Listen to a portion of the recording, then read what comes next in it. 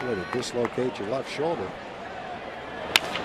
Young, a grounder toward the hole. Cabrera has to go off the heel of his glove. It's going to stay right there. Hamilton scores, and the Rangers take a 2 to nothing lead on what will probably be an infield single for Michael Young. Yeah, it was a well located ground ball. Once he got it by Hanahan at third base, Cabrera was going to have a hard time making the play, even if he fielded it cleanly. It's going to take a little short hop on him, which doesn't allow him to catch the ball.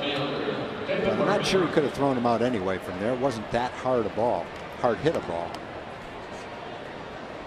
Well, that is an infield